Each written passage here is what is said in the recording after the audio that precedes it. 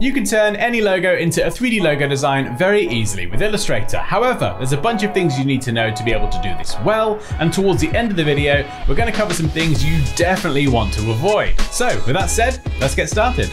Okay, so if you followed my recent videos, this logo may look familiar, and what we're going to do is turn this into a 3D logo, and we'll start by going to the 3D panel, and let's select Inflate. Now we can control the depth and the volume of the inflation using these two sliders, and you can also apply the 3D inflation to both sides. Now as far as rotation goes, there's a few ways you can do this. You can play around with the X, Y, and Z sliders here. You can freely rotate it using the crosshairs on the object itself, or you can use one of these presets. So you can see I'm using isometric top, and I'm now going to bump up the depth to make the object a bit taller.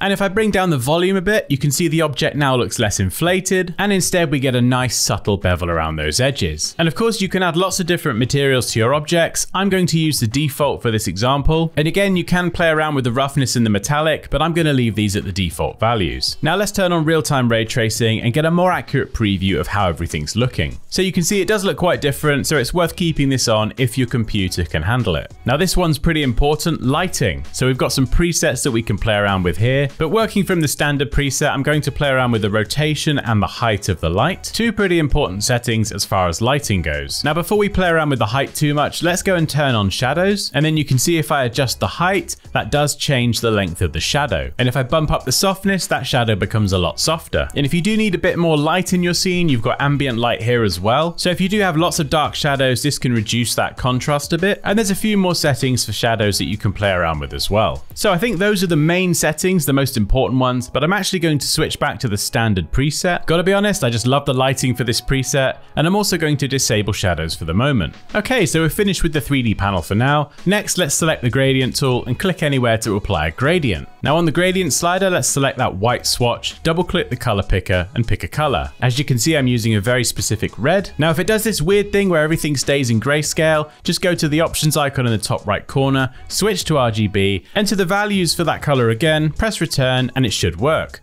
Next, do the same again for the other side. So we're selecting the black swatch, and then you can play around with the sliders or enter a color value of your choice. So you can see I've gone for an orange color here, so we have a nice graduation from red to orange. So that's the bulk of the logo done. Now it's time for a few tips and the things that you definitely want to try and avoid.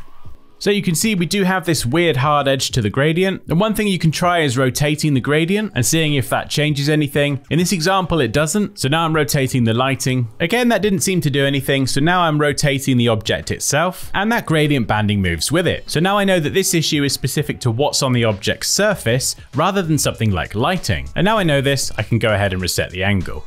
Another trick you can try is moving the swatches on the gradient to try and push that banding out of view. And you can see in this example, this did kind of work here. Now I am just randomly going to bump up the depth a bit. And something else I'm going to do to make this look a bit more interesting is select the rectangle tool and use this to create a background that is the same width and height as the artboard. Snap this in place and send it to the back. And then if you copy and paste your 3D object in place and then move it down, send this copy to the back as well, bring the opacity down a bit. And that's a really quick and easy way to create a reflection. Now one mistake mistake you don't want to make is going to the raster effects settings and changing the resolution to 300 dpi. Just whatever you do, no matter how powerful your computer is, just trust me on this one, don't do it. Because as you can see, even just rendering a single preview takes minutes. Maybe for your final render, sure, but whilst you're still working on it, just just no, don't do it. And you can see here I made the same mistake again. What an idiot. Like at best, it'll waste your time, and at worst, it'll crash your document and you might lose everything. So yeah, there's your heads up, take it or leave it. Now there was some weird pixelation around the edges of the logo, so I did try switching the type. Obviously Revolve didn't give me the look I was hoping for, so then I tried Extrude. Much better, less like a Babybel. Now the Extrude type actually has its own bevel setting, and a way to create something similar to what we had before is to change the bevel shape to round, and then play around with the width and height. Generally I try and keep these two values very very similar if not the same, but whatever works for you. And you can see if I turn on ray tracing, that seems to have gotten rid of that goofy weird pixelated edge. However, now that I've switched the type, I now need to go and play around with the gradient some more so I don't have any of those weird hard edges. But using all of the techniques we've covered in this video, there are plenty of ways to get around all of these little oddities, even if it means just trashing the entire gradient and going with a solid color. So that's how to make your logo designs 3D in Adobe Illustrator. I hope you enjoyed this one. If you did, I've got some more logo design over here, or we've got some 3D over here. But as always, you've been fantastic. Take care, and I'll see you next time.